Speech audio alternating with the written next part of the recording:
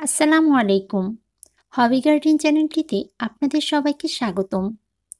আজ আমি আপনাদের সাথে শেয়ার করব কীভাবে আপনারা খুব সহজে টবে ধনিয়া পাতা চাষ করবেন। আপনার ছাদ বাগানে, বারান্দা কিংবা বেলকনিতে খুব সহজে আপনি চাইলে ধনিয়া পাতা চাষ করতে পারেন। আর ধনিয়া পাতা চাষ করার জন্য খুব বড় মাপের টবের প্রয়োজন হয় না। আট থেকে দশ ইঞ্চি সাইজের টব হলেই খুব সহজে ধনিয়া পাতা চাষ করা যায়। তাছাড়া আপনি চাইলে যে কোনো সাইজের টবেই ধনিয়া পাতা চাষ করতে পারবেন।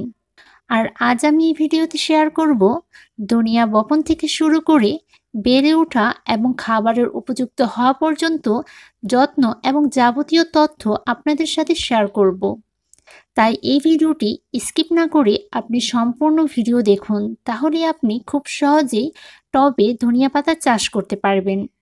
সো ভিউয়ার্স কথা না বাড়িয়ে দেখা যাক কীভাবে টবে খুব সহজেই ধনিয়া পাতা চাষ করা যায়?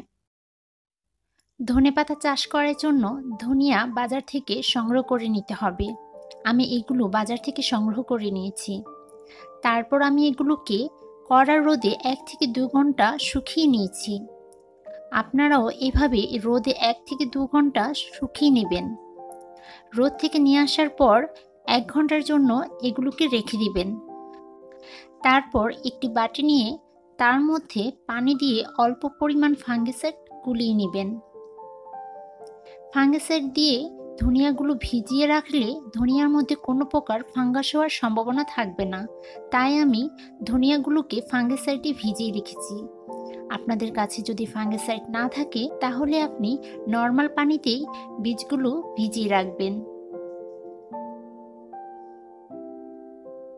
পানির মধ্যে ভালোভাবে বীজগুলো ভিজানোর পর সেগুলোকে আপনি এভাবে চব্বিশ ঘণ্টার জন্য রেখে দিবেন।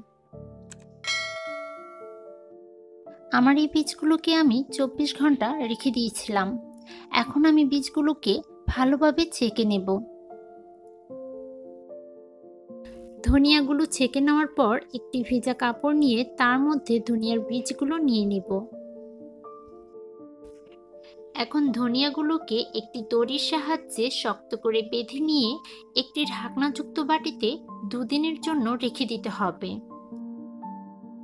এভাবে রেখে দিলে ধনিয়াগুলোতে খুব দ্রুত শিকড় গজিয়ে যাবে, যার ফলে ধনিয়া থেকে চারা হতে বেশি সময় লাগবে না।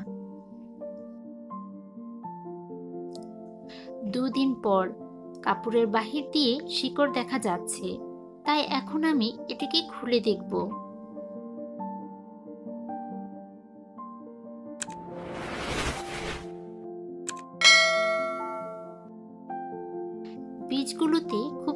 শিকড় চলে এসেছে। আপনারা দেখতেই পাচ্ছেন, সবগুলো বীজ থেকেই শিকড় চলে এসেছে। আর এখন এগুলোকে মাটিতে ছিটিয়ে দিতে হবে। বীজগুলো বপন করার জন্য আমি এই পাত্রটি নিয়েছি। আর এটিতে আমি পানি নিষ্কাশনের জন্য ছিদ্র করে নিয়েছি। আর এর মিডিয়ামি তৈরি করেছি সত্তর পার্সেন্ট মাটি ও তিরিশ পার্সেন্ট গোবর সার দিয়ে। এই মিডিয়া তৈরি করার জন্য কোনো প্রকার রাসায়নিক সার ব্যবহার করা যাবে না। তাতে চারা নষ্ট হয়ে যাবে। ভালোভাবে ধনিয়ার চারা হবে না। এখন আমি ধনিয়ার বীজগুলোকে মাটির মধ্যে সুন্দরভাবে ছিটিয়ে দিব। বেশি ঘনত্বভাবে বীজ ছেটানো যাবে না। কিছুটা হালকা হালকা করে বীজ ছেটাতে হবে। ভালোভাবে বীজ ছিটিয়ে নেওয়ার পর ধনিয়ার বীজগুলোকে মাটি দিয়ে ঢেকে দিতে হবে।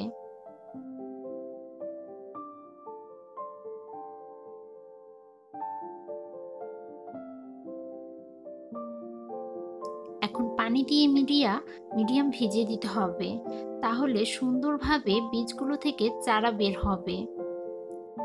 এখন এই পাত্রটিকে এমন একটি স্থানে রাখতে হবে যেখানে সরাসরি রোদের আলো আসে।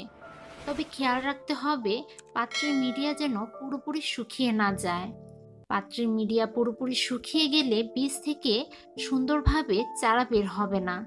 তাই পাত্রের মিডিয়া শুকিয়ে গেলে পাত্রে পানি স্প্রে করে দিতে হবে, তাহলে সবগুলো বীজ থেকে সুন্দরভাবে চারা বের হবে। দুদিন পর। আমার সবগুলো বীজ থেকে চারা বের হতে শুরু হয়ে গিয়েছে। আপনারা দেখতেই পাচ্ছেন আমার সবগুলো ধনিয়ার বীজ থেকে প্রায় চারা বের হয়ে গিয়েছে। হয়তোবা আরও কিছু চারা বের হবে।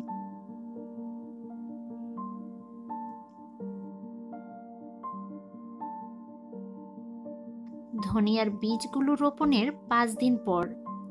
দেখুন, আমার গাছগুলো কত সুন্দরভাবে বেড়ে উঠছে।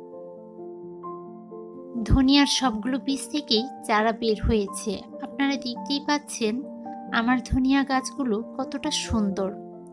আর একটা জিনিস অবশ্যই খেয়াল রাখতে হবে, ধনিয়া গাছের মিডিয়া যেন কোনোভাবেই বেশি শুকিয়ে না যায়, তাহলে গাছগুলো নষ্ট হয়ে যাবে।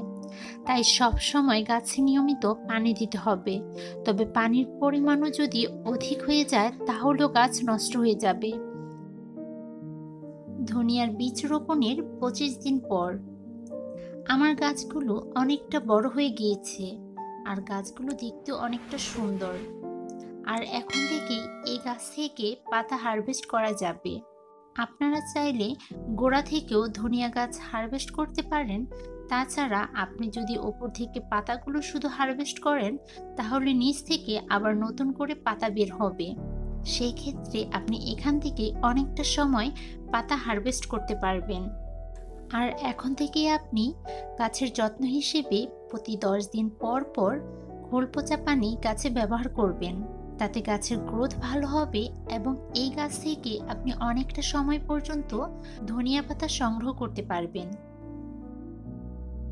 সো ভিউয়ার্স আজ এই পর্যন্তই।